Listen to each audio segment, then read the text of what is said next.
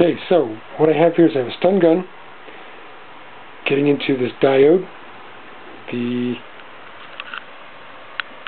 bias marks on this end, okay, towards the stun gun.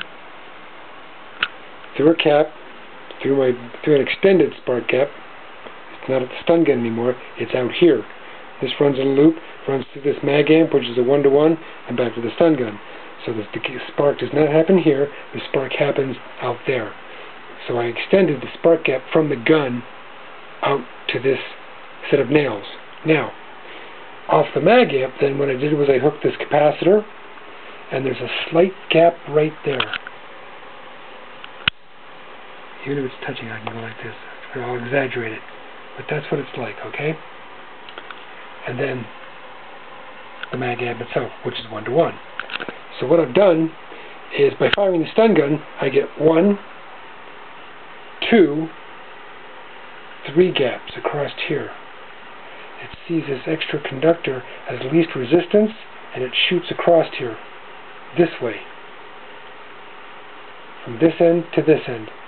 So it jumps out of here, around here, and jumps here. Not only does it go through the, not only does it go through the gap here, but it also jumps across the gap here.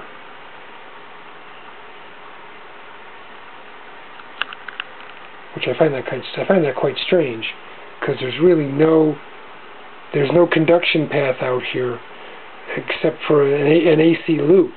I'm not really sure about that, but I do get sparks across here. I get the spark there, and I get the um, external spark across this one.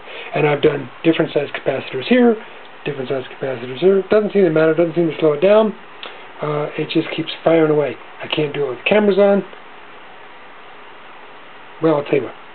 I'll try it with the camera on so you can see, and hopefully the camera won't fry. There's that one. There's that one. You can see the one in the mag amp. See the two in the mag amp?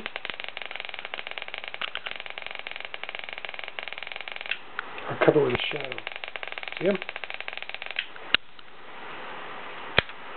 They are they are crossing between these two guys going this way, from this run, from this primary to the secondary. Now remember, this is a one-to-one. -one. What I'm going to do next is hook in this guy here. This is my iron core big beast.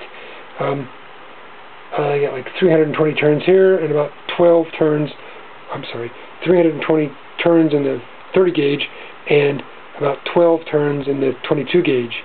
Um, so I'm not going to fire one on top of the other yet. I'm going to make this a primary and this a secondary and replace this mag amp with this bigger one from a ferrite to a copper, uh, sorry, to a to an iron one. I bought these off Ironhead. Thank you.